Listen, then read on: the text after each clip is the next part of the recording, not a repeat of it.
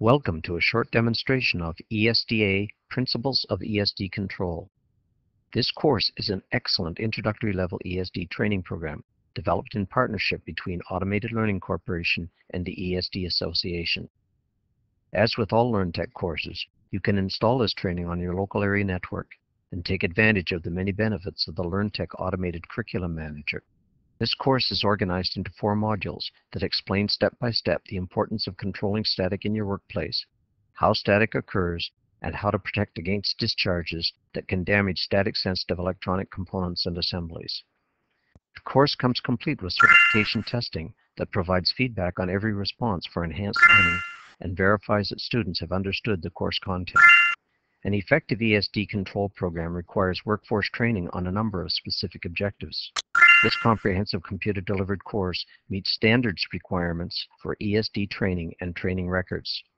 It also provides the capability for you to custom tailor ESD training content to match your S2020 tailored ESD control program.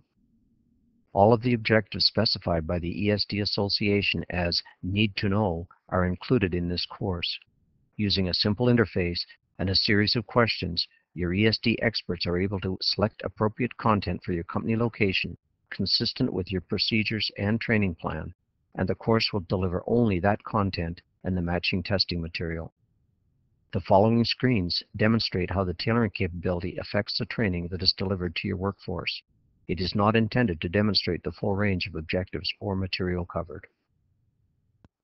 Electronic components are much more sensitive than people they can be damaged, even destroyed at levels well below 2000 volts. Objects carrying unlike charges attract each other and might cling together. Click on two objects that repel one another. No, opposite charges attract. Try again. Right, like charges repel.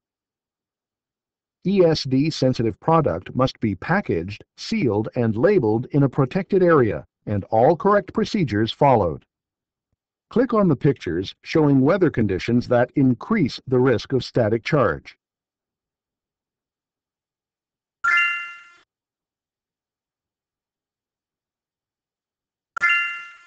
Right. ESD is more of a problem when weather conditions are dry. Many everyday actions generate static electricity at very high voltage levels.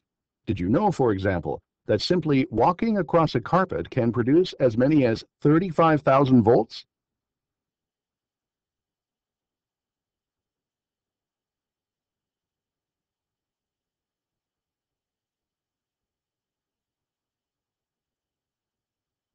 If your company has a testing station at the entrance to the ESD protected area, you should test your wrist strap daily. Follow company procedures. If your company has a testing station at the entrance to the ESD protected area, you should test your wrist strap at the beginning of each shift. Follow company procedures.